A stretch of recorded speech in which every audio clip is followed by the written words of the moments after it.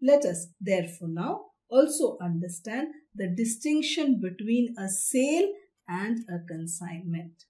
What is a sale? When goods are sold by one person to another, ownership of the goods is transferred.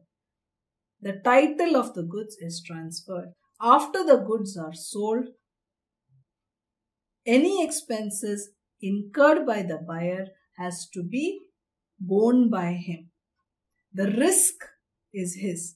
If goods are lost, he bears. Who? The buyer bears the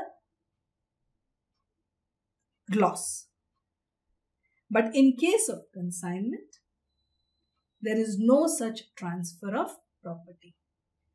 So what is the difference? Transfer of ownership. Basically, there is transfer of ownership and there is no transfer of ownership in case of consignment. This is the basic fundamental difference between sale and consignment.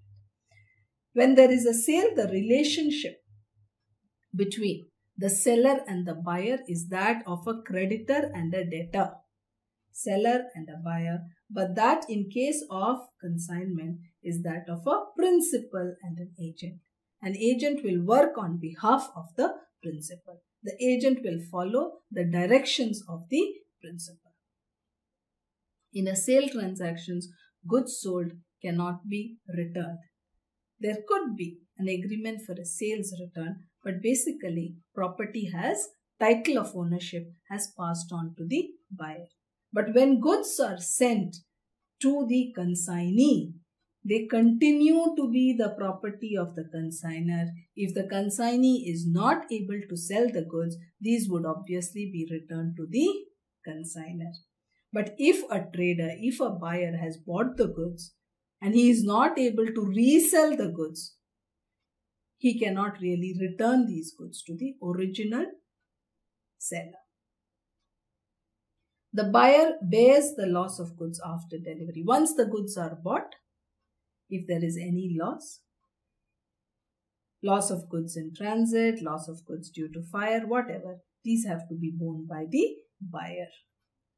But since property, title has not been transferred to the consignee, if goods are lost even in the godown of the consignee, who bears the losses? The consigner will bear the loss because the goods still continue to be the consigners. Expenses which are incurred by the buyer for safeguarding the goods. So if he insures the goods, if the buyer after buying insures the goods, it is the buyer's expense. But when the consignee receives goods from the consigner, the consignee may also ins insure these goods so as to safeguard them. But these expenses would be reimbursed by the consignor.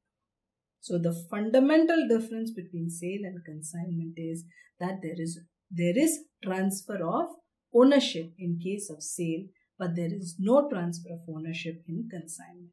Physically, goods move in both a sale transaction as well as a consignment transaction. But the goods which are physically moved to the godown of the consignee continue to belong to the consigner. They should be shown as consignment stock in the books of the consigner.